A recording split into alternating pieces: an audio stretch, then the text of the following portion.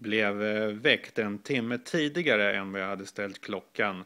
Jag hade tänkt att unna mig så mycket som, som möjligt innan jag ska iväg till kyrkan här. Det är ju långfredag idag och då måste jag iväg.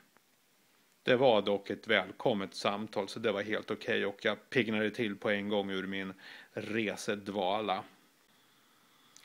Skönt att vara hemma igen och eh, jag tror att jag och alla som har varit med på den här resan kommer landa lite grann nu i vår hemmamiljö och eh, låta intrycken sjunka in och vi kommer få reflektera över vad vi har varit med om.